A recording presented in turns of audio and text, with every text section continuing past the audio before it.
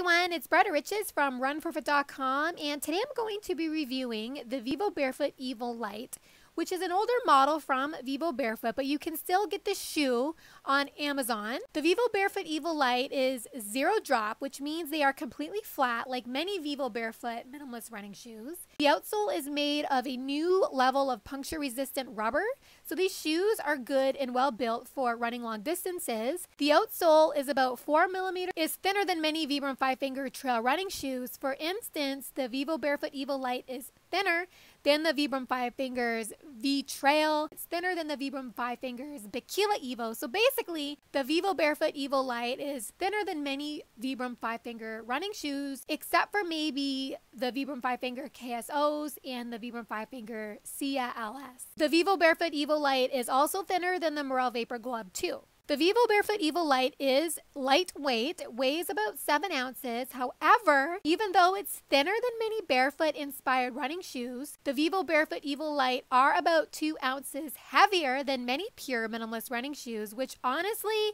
the added 2 ounces doesn't feel a world of difference, but I think because the shoe is water resistant and because of the puncture resistant premium durable outsole adds a little more weight to the shoe, but the added durability is well worth the added weight. But don't get the wrong impression that the Evo Lites are heavy because they are certainly not. The Vivo Barefoot Evo Lites are very featherweight like a true barefoot inspired running shoe, and for sure will allow you to perform at your highest level. The Vivo Barefoot Evo Lite is roomy because it has an M width toe box, which is important for a number of reasons. Mainly, a wide toe box allows the toes to fully spread out, which is essential for bound impact absorption. Absorption when you are running on irregular surfaces or running through the trails. I feel that in regular traditional running shoes, you are in a constant balancing act, which is challenging, especially if you're running in the trails. And the rubber outsole of traditional running shoes is normally stiff. The toe box is narrow, so your toes are crammed tightly together, and the outsole thickness doesn't provide any sensory stimulation on the of the feet, which is needed for proper adaptation in your running form. So this is how traditional running shoes can be very distressing and highly injurious. Traditional running shoes can be very distressing and highly injurious. This is why I very much appreciate the Vivo Barefoot Evo Lite because it's the perfect vehicle to get a clear sense of what's going on with your running form by enabling more efficient sensory feedback at the feet which gives you the opportunity to be better able to fix your running form and maintain good running form that is safe and efficient. The Vivo Barefoot Evo Lite does come with a removable foam insole, which is handy for if you enjoy a little cushion for your stride, or if you want to get closer to the ground, you can just remove the insole to get that even more barefoot feel, which is what I prefer. Overall, the Vivo Barefoot Evo Lite is more cushy even without the insole.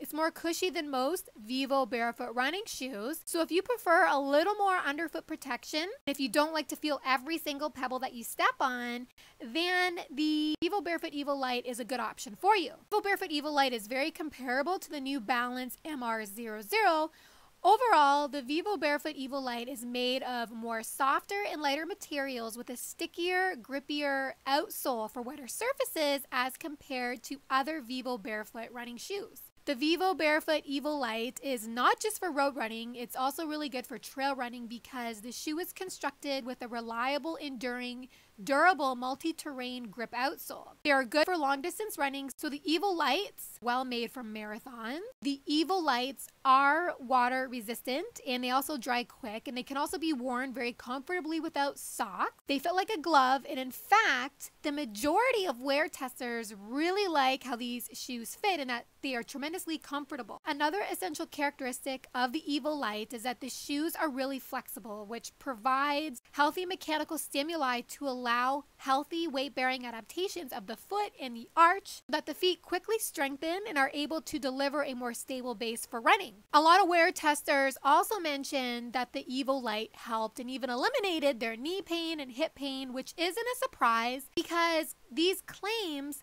are in line with other claims that minimalist running shoes resolve long standing injury and are an ideal solution to prevent and even treat running injuries like runner's knee, plantar fasciitis, and even hip pain. Because of the intensification of the ground feel and improved foot behavior, which sends a clear message that going more barefoot in terms of a running shoe is really the only way forward to make you a more indestructive runner because these types of shoes create the circumstances that leads to ongoing self strengthening. So I'm confident that you will make really good progress in terms of injury treatment and injury prevention in the Vivo Barefoot Evo Lite. These shoes really do connect with the human element of running.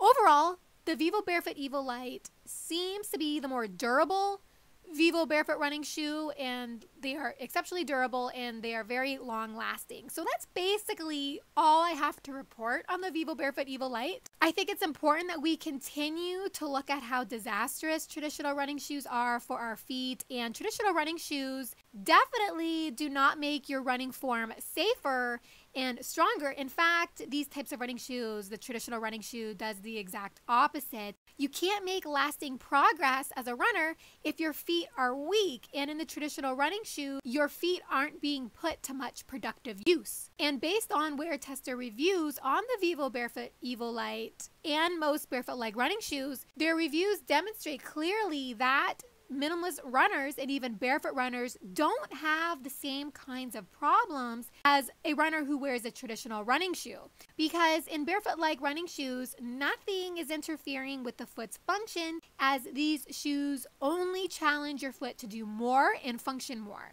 And of course, anytime you can feel the ground, as in wearing a barefoot inspired running shoe, this helps put your running form and especially your forefoot strike landing into better perspective so that you run more reactively, more safely, and obviously more self aware of your overall mechanics, which is a necessary part to run injury free. If you're looking for an alternative to the Vibram Five Fingers, I think the Vivo Barefoot Evo Lite will be better for you because it is reflective of the barefoot experience, just like most Vivo Barefoot running shoes really are. If you've enjoyed this review, you will also like my other reviews on barefoot inspired running shoes on my blog, runforefoot.com. And don't forget to subscribe to my YouTube channel to stay updated on barefoot running and forefoot running and become more informed on the dangers of heel strike running.